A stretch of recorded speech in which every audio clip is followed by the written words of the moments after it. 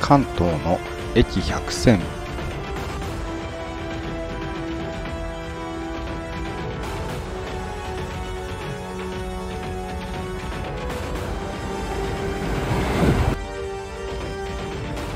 駅は神奈川県。車庫は東京都。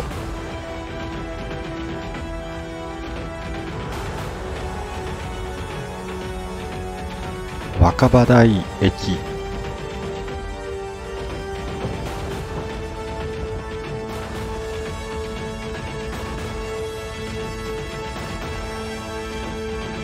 ご視聴ありがとうございます。ちもちもです。若葉台駅の北口からスタートします。で、線路沿いにね、えー歩いていきます。で、えー車庫をね、一周ぐるっと回ってみたいと思います。で、えー今度はね、えー線路の下をくぐって、それで、えー若葉台駅の南口をね、また線路沿いに歩いて、えー南口に、えー歩いていきたいと思います。まあ何がね、見えるか楽しみですね。はい、調布駅からやってきました。で、えー京王相模原線のね、えー先頭車両の方に乗って、で、降りたらちょうどね、目の前が若葉台駅の車庫になってます。で、なぜかね、相模原線ってあの、まあ、都営新宿線の車両が多いんですね。まあ、なんでなんでしょうね。はい。まあ、行き過ぎたらね、行って、車両が行ったら、あの車庫がよく見えますね。で、左側に見えるのがゴルフ場です。緑のネットね。で、えーこのね反対側の方を見ると今度は、えー若葉台駅のね緑の色の駅舎があの綺麗な色なんですよね。ちょうど、えー高尾3号がね来ましたね。ヘッドマーク付きです。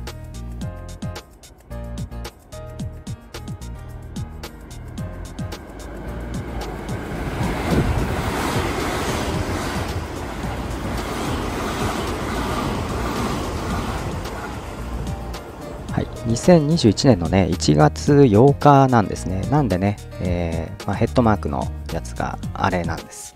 で、えーまあ、緊急事態宣言が出るって言ってたんで、あの出る前に、まあ、せっかくなんでね、ずっと在宅勤務してるんで、まあ、せっかくだから若葉台駅でも見てこようかなと思って来てみました。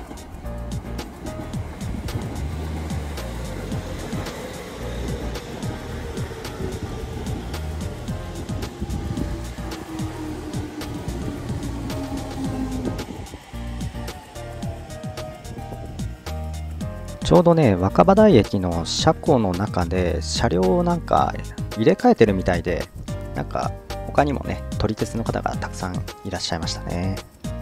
はい、都営新宿線です。この緑のね、ラインを見ると、あの山手線と勘違いしちゃいますよね。よくね、小さいお子さんがね、あの山手線と間違えたりとかしてますよね。可愛らしいですよね。うちの子供もよく間違えてましたね。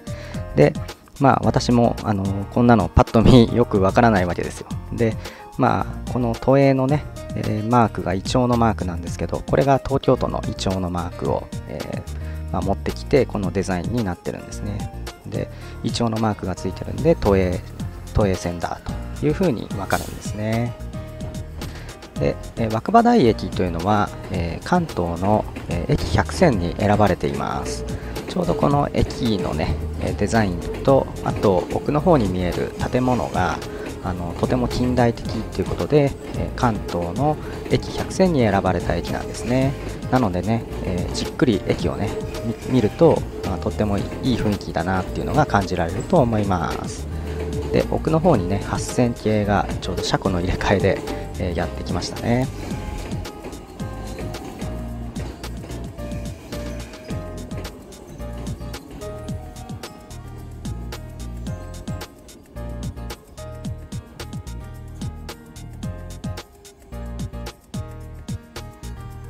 そろそろ駅の外に出てみたいと思います。駅のね、どこかに100線の札があるらしいですね。見つけられませんでした。で、はい、北口からね、スタートしたいと思います。ちょうどね、えー県境にいます。はい、ここ若葉台駅の駅前です。ちょうどね、東京都と神奈川県の境目のところにいるわけですね。はい、こっちの道路の方が、えー東京都。で、左側が、あ、東京都ね、こっち。こっちのなんかショッピングモールみたいなのがある方が東京都ですね。で、えー、線路の方が、はい、左側の方が、えー、神奈川県ですね。はい、このままね、えー、この橋の下をくぐっていきます。この橋の上をね、渡っていくと結構栄えたね、町の方に行くみたいなんで、まあ、そっちはね、多分ほとんど皆さん行ってると思うんでね、私はね、ちょっと、車庫の周りを一周するんで、こっちのね、橋の下を、歩いていきます。で、車庫のところで電車がちょうど見えましたね。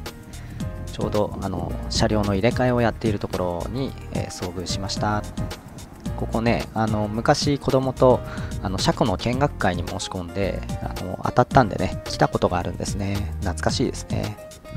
はい、左側が車庫で右側がショッピングモールになってます。ショッピングモールはなんかたくさんありそうですね。ちょうどね、歩いてたら工事車両を見つけました。で、えー、車庫の方を見てたらね、結構いろいろ河川のあの設備がいろいろ見えますね。で、ちょうどまた車庫のね、中の車両の入れ替えの電車が走ってますね。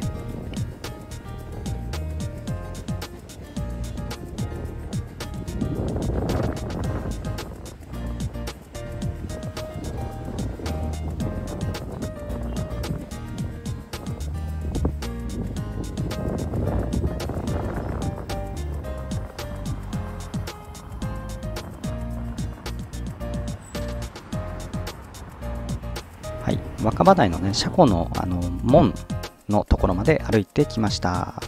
はい、ここがね、えー、若葉台の工場の、えー、門ですね。はい、昔、確かね、8年ぐらい前に子供とここにあの遊びに来たことがあったあったんですよね、車庫見学でね。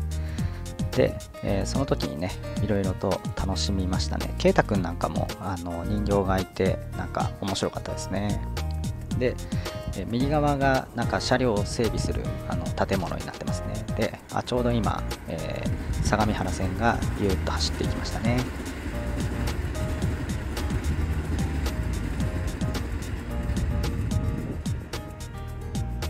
はい。少しね、えー、ここ坂になってるんで少し登ってきました。で振り返るとね若葉台駅が見えます。あの少しねあの緑色の駅舎ですね。駅舎っていうのかな屋根かな。で、えー、ここが、えー、こうまあ、車庫のね、えー、施設の中はあの車両をねあのクレーンで持ち上げるあの機械があったりしてそれであの整備をね行ってるんですね。はい。少しまた歩いてね交差点のところまでやってきました。ちょうどね、交差点の、えー、地名が若葉台駅西って書いてありますね。結構あの駅を駅からすごい離れてるんですけど、まあ、あの地図で見ればね、確かに西だなという感じですね。で、結構ね、歩きやすいように整備されていて、歩道も広くてあの歩きやすいですね。これは散歩コースにもいいかもしれないですね。でも左側見てもあの電車が見えません。はい、またね、登っていくと、えー、左に曲がるところがね、えー、ここ分かりにくいんですけどね、はい、ここまでやってきました。登ってきました。ここなんですよ。ここをね、あの曲がらないといけないんですね。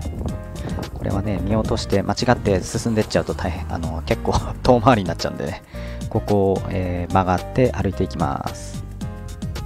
はい、ここのね、小道をちょっと、えー、歩いていきます。少しね、空を見ると、あのーまあ、青い空とね、雲がちょうど気持ちいい天気でしたね。まあ、1月なんでちょっと寒いんですけどね。で、えー、少し行ったところでね、ちょっとここからまた電車が見えるのかどうかをね、ちょっと確認してみたいと思います。見えるのかな？どうでしょうね。あどう、どうですか？これ。皆さんどうですか？これ。見えてますか？見えてないですでしょ。見えてないですよね。これね。ここだとちょっとまだ見えないんですね。見えてんのかな、まあ、季節によっては見えるかもしれないですね。草があって見えなかったですけど。はい、またね、少し歩くと交差点に当たります。そこをね、また左に曲がっていきます。はい、ちょうどね、えー、反対側が、えー、稲城台病院っていうところですね。で、病院の方に行くとちょっとね、え怖いんで、はい、ここはね、駅を一周するのが目的なんで、駅一周のためにね、左に曲がって進んでいきます。今度はね、あちょうどあの神奈川県の川崎市、えー、麻生区のね看板が見えましたねちょうどあそこから神奈川県に入るわけですね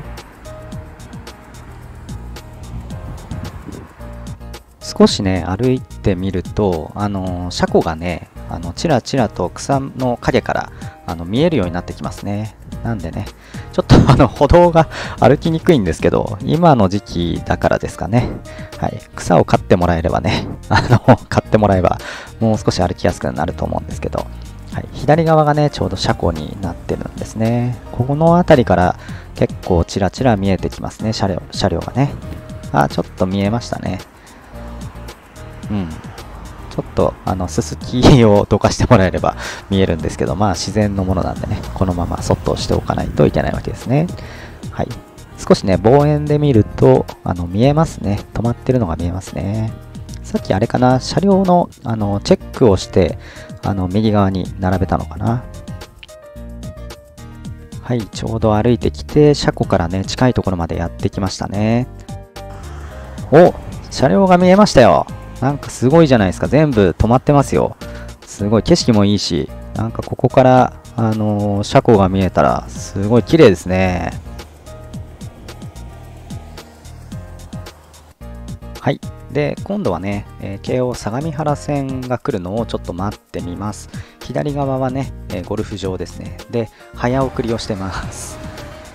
そろそろ来ます。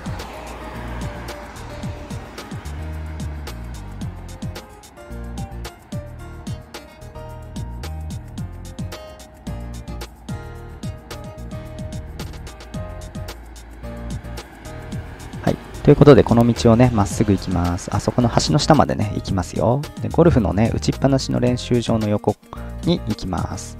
あちょうどね、橋本から折り返してきた緑の高尾山号に、えー、バッチリね、えー、会いましたね。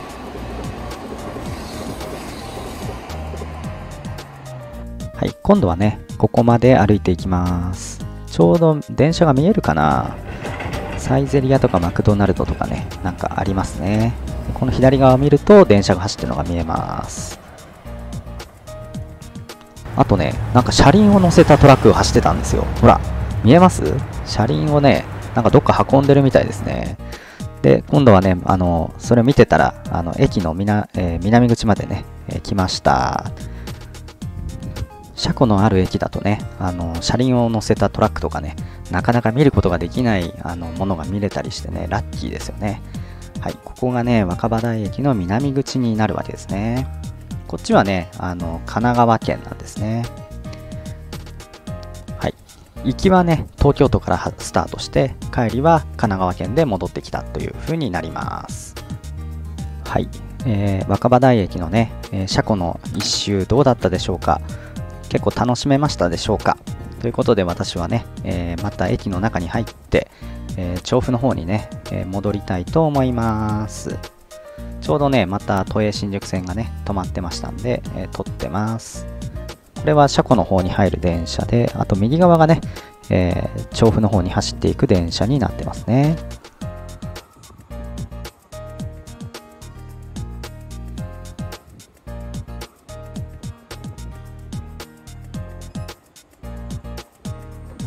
車庫に入る電車の方が先に出発すると思ったら、どうやら、あの、調布の方に行く、あの、新宿行きのね、電車の方が、新宿じゃないか、えー、元八幡行きの電車ですかね。こっちの方が早くね、出発したんで、はい、こっちを取ります。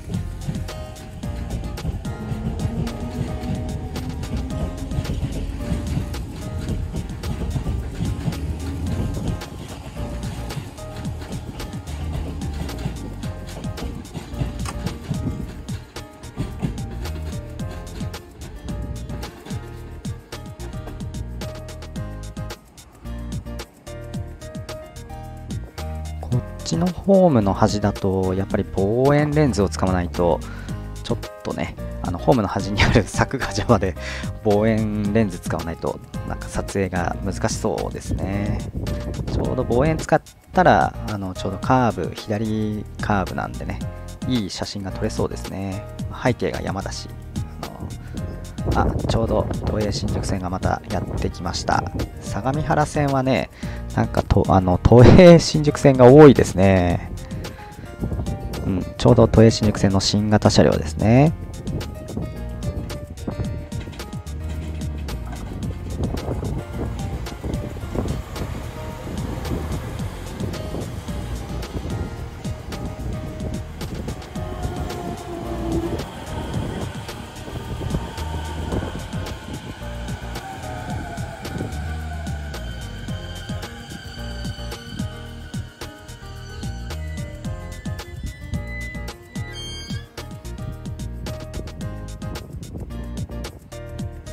まだ電車が来ないんでね、都営新宿線を撮影します。パンタグラフを見るとね、ほら、京王線となんか違うんですよね。向きがほら、あの違いますよね。ちょうどひし形になるようにあの配置してますね。京王線はね、あのみんなが帰宅する方向にあの向くようにパンタグラフが揃ってるんですけどね。都営新宿線は両方両方向向いてますね。やっぱりね、会社によってなんか違うみたいですね。都営新宿線は、まあ、元八幡駅の方に向かって帰る人もいるから多分パンタグラフの向きがあのどっちにもね向いてるんだと思います。はい。若葉台駅のねホームをね端っこから端っこまでずっと歩いてきました。で、えーちょうどね右側にはあのさっきあのぐるっと回ったね車庫が、えー見えます。ちょうど電車はね準特急の新宿行きですね。通過です。で、いかがだったでしょうか？あの、若葉台駅とね、車庫をね、一周ぐるっと回ってみましたけれども、楽しめましたでしょうか？はい。ということでね、えーこの電車に乗って、また都営新宿線なんですけど、この電車に乗って帰りたいと思います。あの、よろしかったらね、グッドボタンと、えーチャンネル登録よろしくお願いいたします。